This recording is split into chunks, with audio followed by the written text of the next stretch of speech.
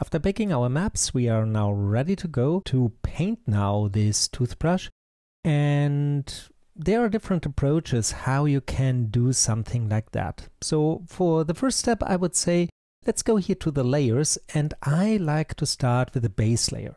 And one important thing I've learned over the time inside of Substance Painter is that in a base layer, I try really to add all the channels which you later have in your export to the space layer. Also, if they are empty, only to make sure that everything is set somehow and nothing is undefined. And for a toothbrush like this, this can be a brown fill layer or something like that. And let's test this first and then I show you another way of working with that. So let's remove this paint layer for now. And I go here to this little paint bucket and click here. So we get a fill layer and the fill layers are a really special layer inside of Substance Painter because you can't paint on them. So if you try this here, you will get a message that a fill layer is not paintable. And the idea behind a fill layer is that you take a material, which you define here in this section here, or you can use a material here from your material library. And you can change this material if you like, or if you have parameters, because these materials are really often made in Substance Designer, and so the author has exposed you parameters, and then you work from this point on. So let's make this fill layer here, name it BG, like background, and I want to first show you how a standard material works inside now of this workflow. For this, we go into the properties and like I've said here under the material section, you have the channels which you want to activate. And because this is my BG, I activate all of them. If you otherwise deactivate channels here, you see they are vanishing here from the interface. Then in this section here, we can have now a predefined material, which are these materials. You can drag them here onto this area here, or you click here and then you get a mini browser where you have the same like in the shelf. And here's the material section which you can now build. And every of these channels here, for example, this is the area for the base color, can have a texture which you previously loaded into your shelf. You see here you go back into this mini browser, into the procedures and the textures. And if you have loaded something into that, you can reference it here, or you can define a color. So if I want now, for example, to define a color, I click here and now I go here into the colors. I search here for something brownish and we say, yeah, this brown here is exactly what we want here. Now we have this brown here. And you will see that we have here a speck and it's really soft here. And so the next step maybe is then the roughness. This is roughness, so black means it isn't rough at all, so it's really shiny. You see here now the reflection going on. And if you bring it up to one white, this is absolutely not shiny, so it's diffuse. And you can now define how much shininess you want to have, and you see it changes here. Let's go here first to no roughness. And you will see that there's something in the reflection. The question is, what is reflecting here? If you take a look into this viewport and its settings, you will see that we have an HDR setup going on here. So on the right side here, you have here the shader settings, the display settings, and so on. And we go here into the display settings. This is this little monitor here. We have three sections for the camera, for uh, the viewport itself, and here for the environment. And there you see that we have an environment map active. It's named Panorama, outdated.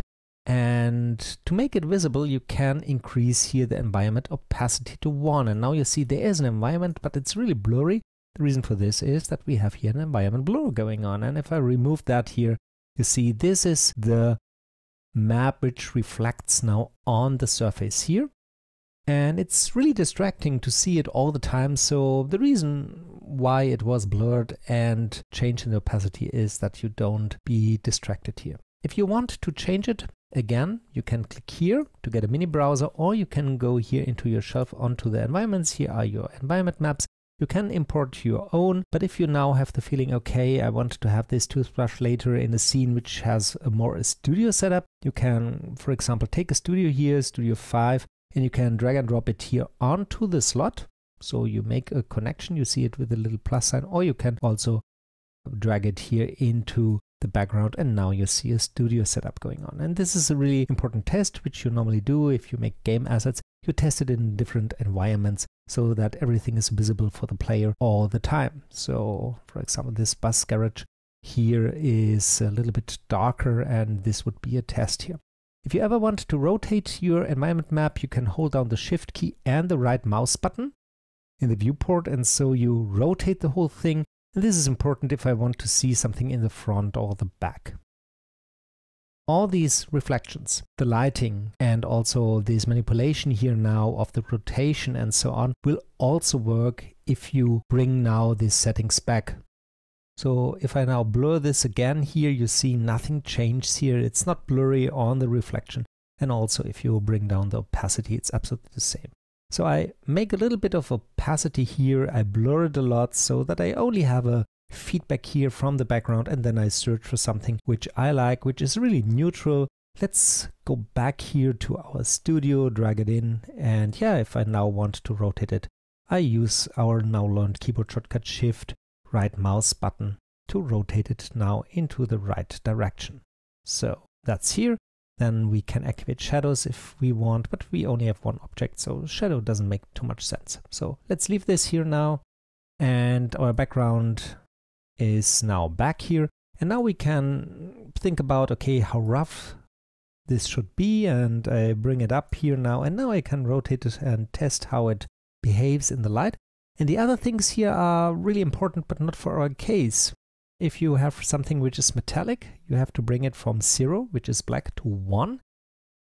But in our case, it's wood, so no metallic at all.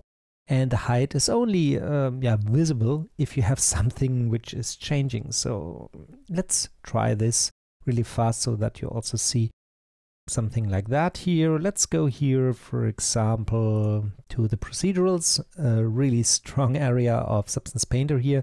You see all these cool maps here. And I want to use, yeah, here something wild. Let's go here to a grunge map like this here. And to change now the height, I can move it up and down and it will work, but you don't see it in the viewport because everything on the whole surface is the same. So let's reset it here to zero.